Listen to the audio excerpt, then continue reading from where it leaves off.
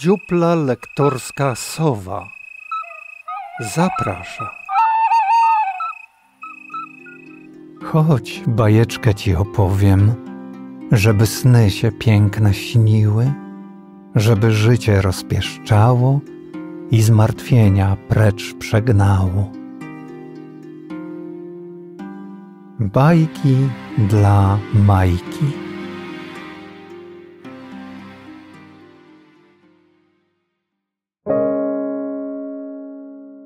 Celina Zubrycka Podlaskie bajki tralalajki Czyta Andrzej Petel-Petelski. Izabella Petronella Strugarella. Opowieść drewnianej łyżki z okolic Czarnej Wsi Kościelnej. O mnie Nazywam się Izabela Petronella Strugarella. Urodziłam się w bardzo sławnej i szanowanej rodzinie. Od dziecka wszyscy na mnie chuchali i dmuchali. Na szczęście nikt nie ośmielił się polizać. Od kiedy pamiętam, byłam podziwiana za swoje niezwykłe talenty, na przykład aktorski, muzyczny czy plastyczny. Z całą pewnością nie mam zdolności kulinarnych. Nie interesuje mnie mieszanie, dodawanie czy próbowanie. Brrr. Za to mam gładką cerę i delikatne rysy. Nie można mi niczego odmówić. Wzbudzam zaufanie, dlatego mogę pracować w reklamie wszystkiego. Oprócz jedzenia. Tak napisałam o sobie, kiedy postanowiłam poszukać pracy. Lepiej już się nie da, prawda?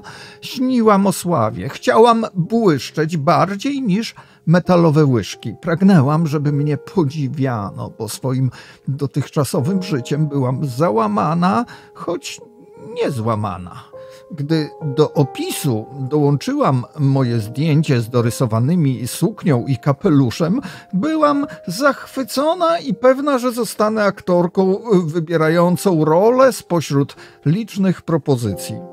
Tylko jak wysłać list, skoro mieszkam na półce w pracowni artysty ludowego, który rzeźbi drewniane łyżki? Mieszkam w małej wsi o nazwie Zamczysk, blisko Czarnej Wsi Kościelnej. Ja, łyżka Izabella Petronella Strugarella, byłam zła. To wszystko dlatego, że jestem wystrugana. Te metalowe mają lepiej.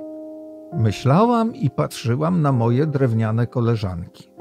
Uśmiechały się i czekały na turystów, którzy wejdą do naszego sklepu i kupią łyżkę na pamiątkę wycieczki po Podlasiu. Ja byłam inna. Chciałam na swojej jednej smukłej nodze poznać świat, zrobić karierę aktorki, błyszczeć w świetle lamp. Pamiątkową drewnianą łyżką nikt nie miesza pomidorowej ani barszczu, tłumaczyła mi Mela moja najlepsza koleżanka. Chciała mnie pocieszyć.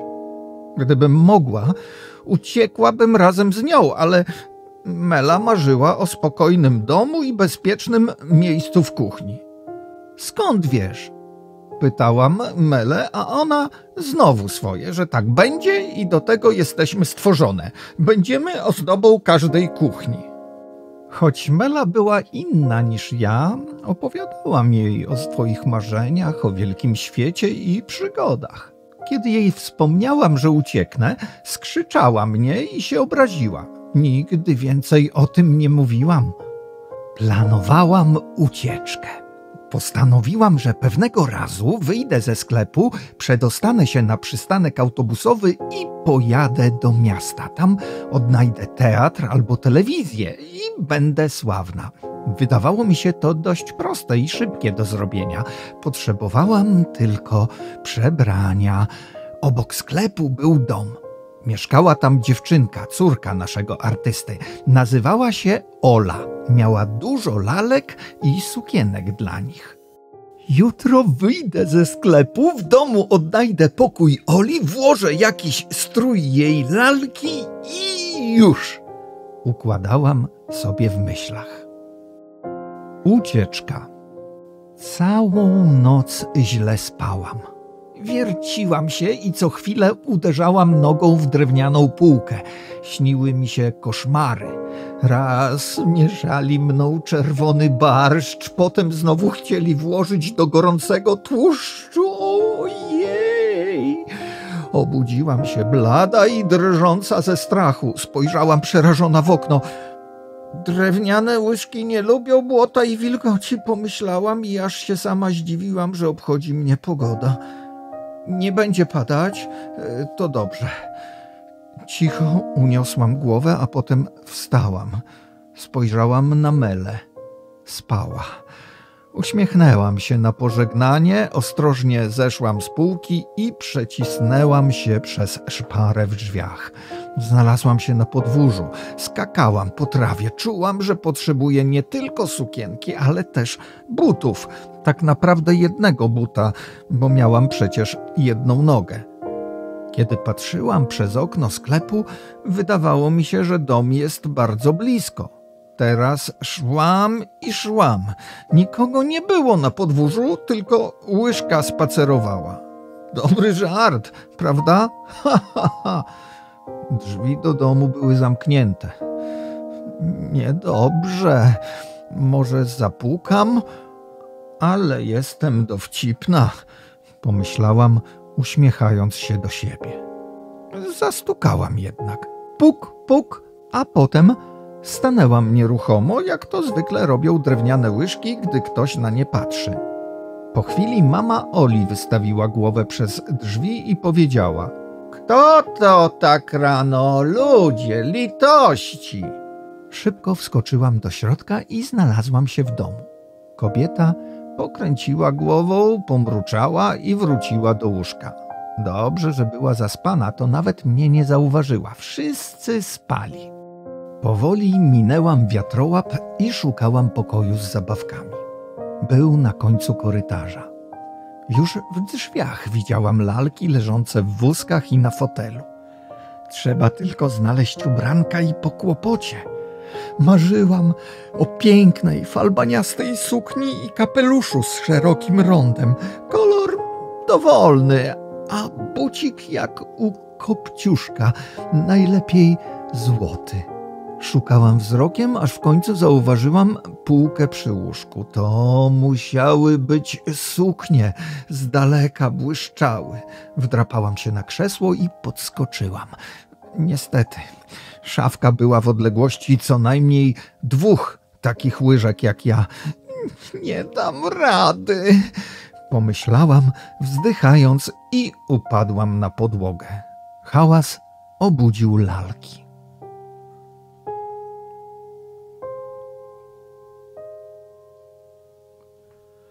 Czy ktoś mi pomoże? Pierwsza otworzyła oczy lalka z lokami rudymi, potem z czarnymi, a na koniec blond. Kiedy już poprawiły sobie fryzury i wygładziły falbanki w sukniach, zaczęły mi się przyglądać i kręcić nosami. Kim jesteś? odezwała się rudowłosa. Stałam oparta o ścianę, jak zwykła drewniana łyżka i marzyłam, żeby zamienić się w kawałek drewna. Nie znamy cię, powiedziała czarnowłosa i poprawiła swoje loki. Wiemy, że nas słyszysz, wtrąciła blondyna. Musiałam coś powiedzieć. Zbladłam. Zrozumiałam, że przesadziłam. Mela miała rację. Miejsce łyżki jest w kuchni. Powiem prawdę i wrócę do siebie. Jestem Izabella Petronella Struganella, wyrecytowałam jednym tchem.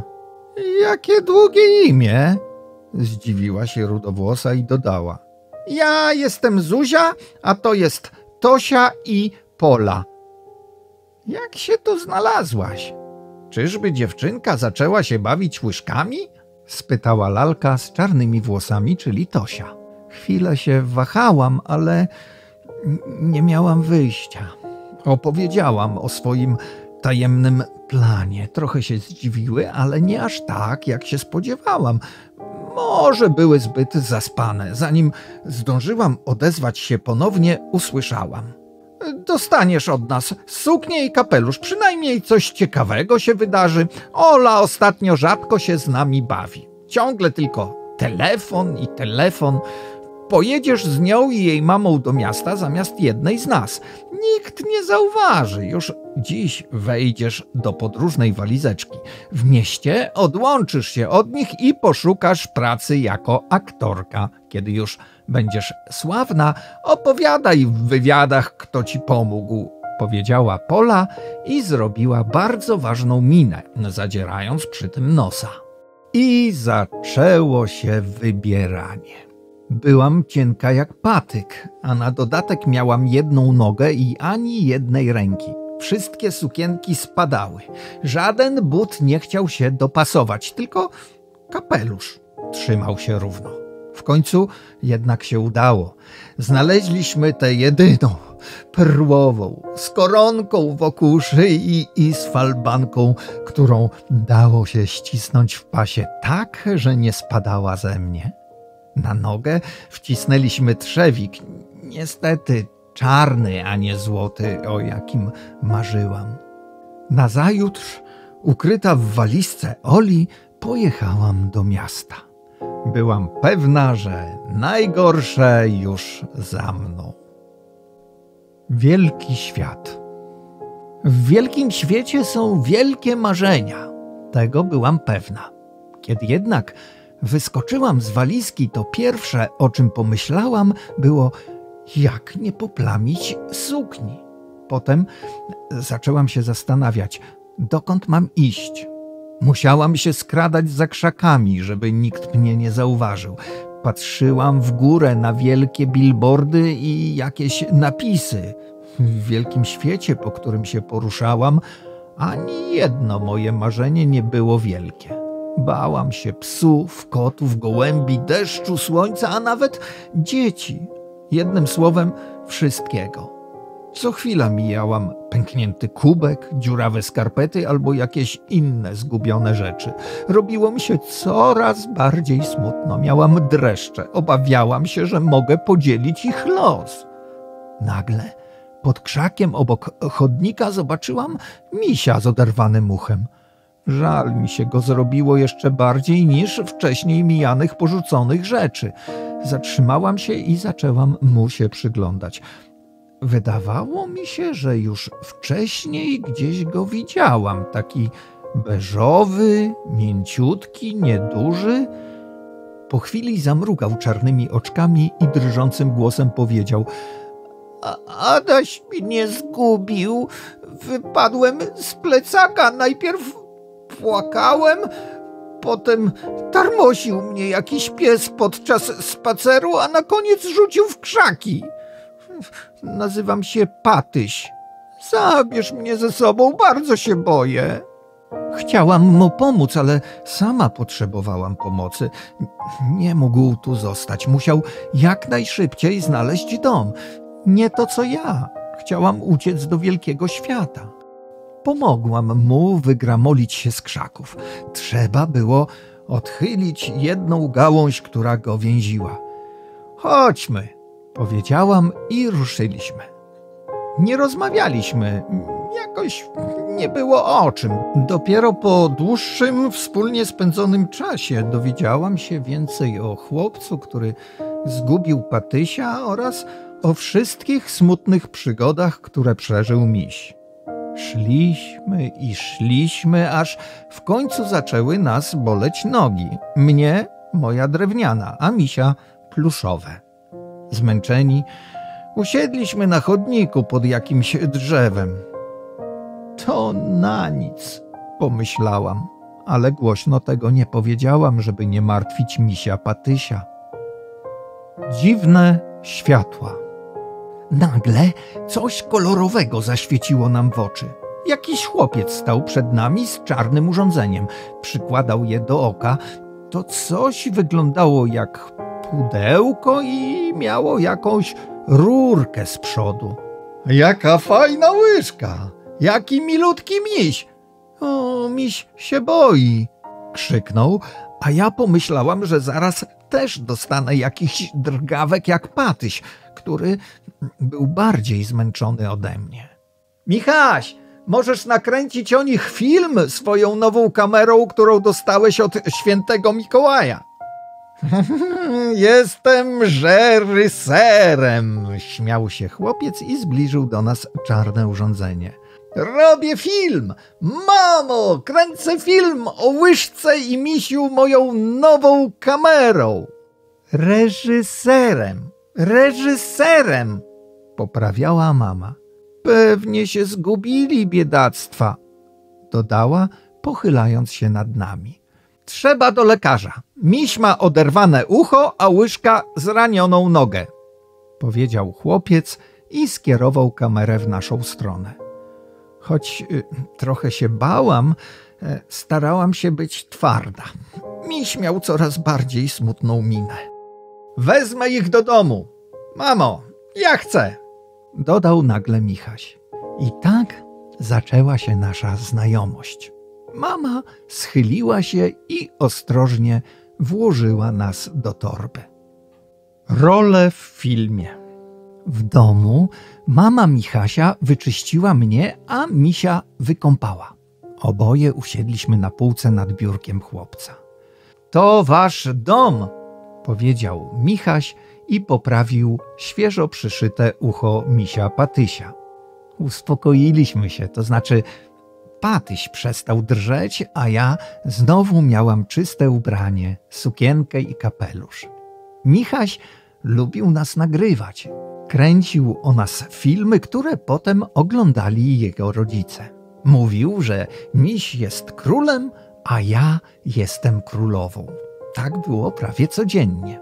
Mama Michasia kupowała mi kolorowe suknie i kapelusze, żebym mogła grać różne role. Jednym słowem, byłam gwiazdą. Miałam dom, przyjaciół i ładne stroje. Występowałam przed kamerą, tak jak marzyłam. Patyś też lubił grać w filmach Michasia, choć nigdy o tym nie marzył, został aktorem. Trzeba przyznać, że dobrze mu szło. Na początku wcielał się w rolę smutnych i nieśmiałych bohaterów, z czasem wystąpił jako strażak i policjant. Nie udało się mu tylko zagrać sapera, bo miś bardzo bał się wybuchów. Ja byłam piosenkarką, malarką, lekarką, a raz nawet zdobywczynią najwyższego szczytu w Europie. Kiedy Michaś dorósł, został prawdziwym reżyserem. Nigdy nie zapomniał, że byliśmy jego pierwszymi aktorami, bo kiedy wracał do domu, zawsze nas odwiedzał, a pewnego dnia powiedział: Drewniana łyżka i miś zostaną prawdziwymi aktorami. Zabiorę ich na plan swojego nowego filmu dla dzieci. Zagrają główne role. Zdrętwiałam z wrażenia. Już zapomniałam, że to było moje największe marzenie. Miś chyba szybciej ochłonął, bo stuknął mnie łapką w bok. Nim zdążyłam się przyzwyczaić do nowej sytuacji, leżałam w walizce, a obok mnie Patyś oraz swetry i spodnie Michasia. Wyruszaliśmy do świata filmu.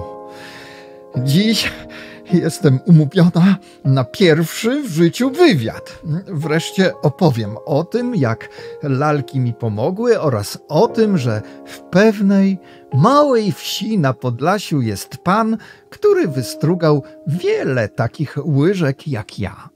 Ale tylko ja marzyłam o karierze aktorki. Inne chciały ozdabiać kuchnię. Hmm, tak bywa. O czym opowie Patyś, nie wiem. Mogę się tylko domyślać.